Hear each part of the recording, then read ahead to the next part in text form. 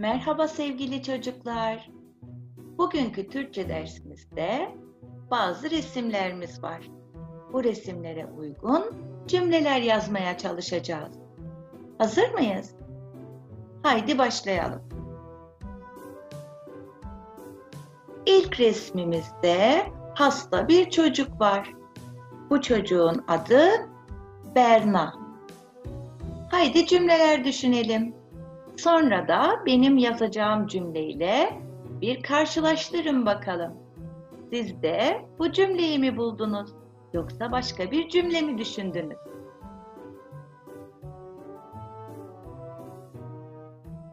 Cümlem geliyor. Berna hasta oldu. Kimler bu cümlenin aynısını düşünmüştü? Başka cümlede düşünmüş olabilirsiniz. Resme uygun olan her cümle doğrudur çocuklar. Hadi sıradaki resmimize bakalım. Evet. Burada bir kız çocuğu var ve oyuncak ayısıyla birlikte oyun oynuyor. Haydi bu resme uygun bir cümle düşünün. Sonra benim yazacağım cümleyle karşılaştırın.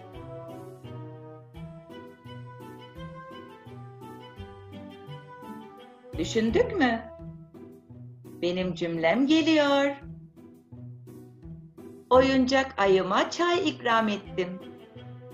Farklı cümleler de olabilir. Oyuncak ayımla oyun oynadık. Oyuncak ayımla çay içtik gibi cümleler de olabilirdi. Haydi sıradaki resmimize bakalım. Evet, buradaki çocuğun adı Berk. Şimdi bu resime uygun bir cümle düşünelim.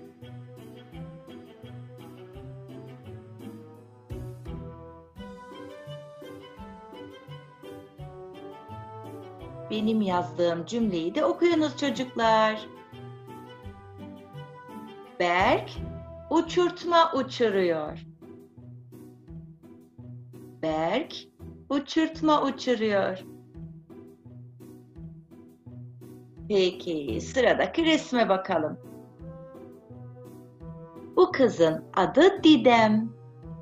Pembe bir bisiklet sürüyor. Haydi bu resme uygun bir cümle düşünelim çocuklar. Ben de düşündüm, hemen yazıyorum. Yazdığım cümleyi okuyun bakalım.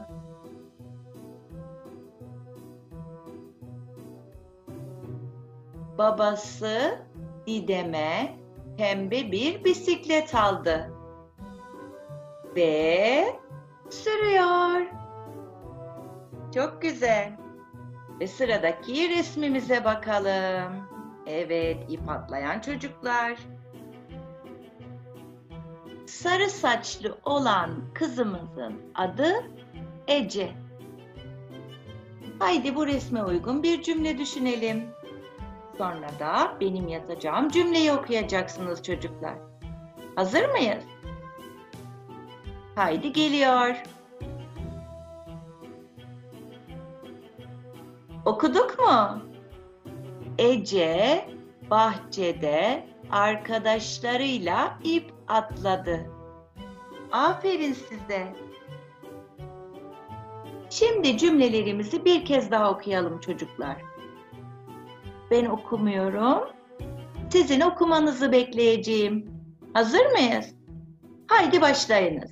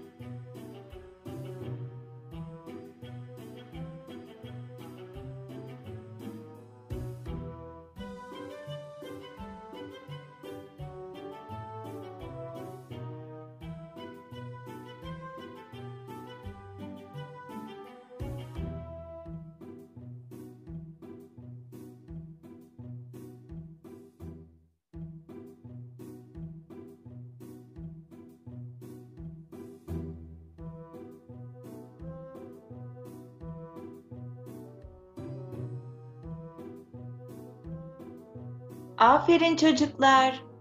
Bugünkü okuma çalışmamız bu kadar. Bir sonraki çalışmada görüşmek üzere. Hoşça kalın.